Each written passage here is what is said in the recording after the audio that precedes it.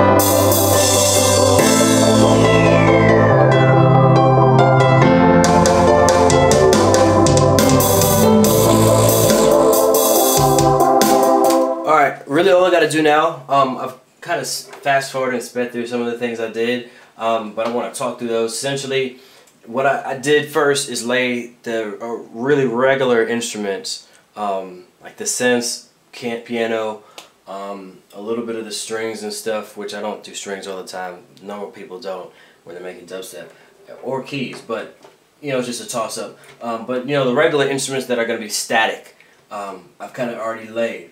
And um, I, recorded those just then on video. Now, the extra elements, or what I would call the dubstep elements, like the basses that are dynamic, for example. Let's let's pull up one of these. Like, um, I like to use Thor. That's kind of one of the baseline ones that I use.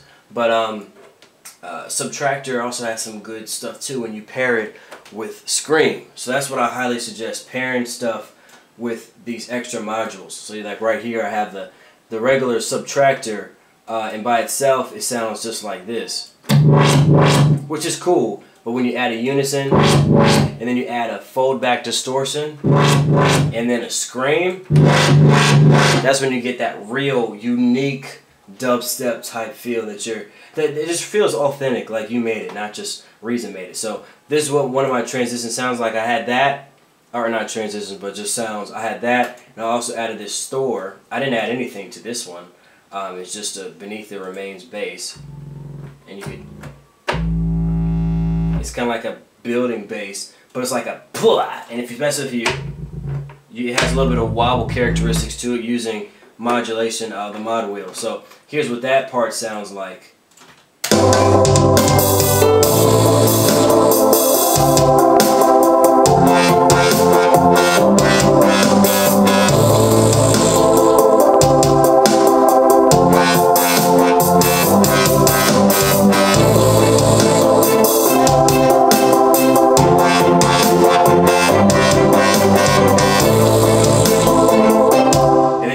Up into the drop. So I wanted to show you guys that and just a few more of the things that I added. So for the actual drop, um, what I did was I took a Thor, I used Squeaky and Fatty. I think I might have uh, changed the wobble amounts and FM amount, uh, added a scream, and then kind of like customized the scream. But now it's it used to sound like this, but now it sounds like this.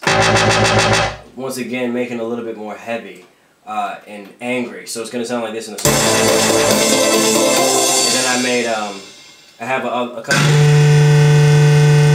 excuse me for that. I have a couple more things.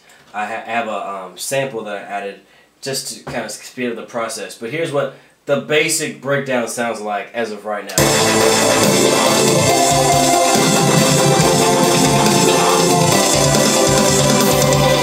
And so you got that, and I'm to loop that just for eight bars or whatever. Um, I got a couple other things I'm going to add a little bit later. But you guys get the point. You put the drums down, uh, and you can do it in whatever order you want, but you can put the drums down, you can put the then the bass line, if there is a bass line. Some people don't use bass for dubstep. They just use the, the bassy, or like the bass clef side of the scale, or they're just going to use sounds um, like the wobbles and screams and all that, that be comprised of their lows. Uh, it just depends on what works for you. You want to lay some mids, which I kind of use as strings in this one, some highs, which I use as keys in this one. Uh, and that's really it. And you just have a little fillers in, a little intro, some woo, some bringing it back, pushing it forward, pushing it around, playing around with the listener's ears is what you're going to be primarily doing.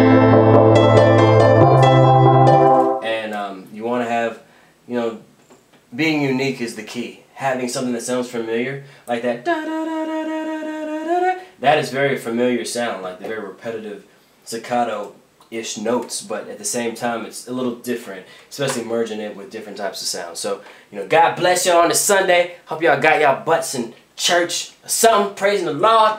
I'm just glad, man. I know I'd be down there in jail without him. So I like to talk about him, man. He's a, he's a beast. He's saved me from doing some crazy stuff, like killing myself and killing other people. So, um, but yeah, dude, big honor to him. Big honor to y'all and subscribers. Um, and everybody who just watched the video supporting um, Aereos is my dubstep name. Just check me out, man, on SoundCloud and stuff. Check the links below. And um, thank you so much for uh, watching this tutorial. Ooh, watching this tutorial. And I'm going to start posting more. Watch out for my girl Bailey Flores, too. She's a beast on vocals. And I'm going to turn her into like an Ellie Goulding type, Latin Ellie Goulding. But, uh, yeah, dude, thank you for watching. God bless y'all. Until next time. Peace.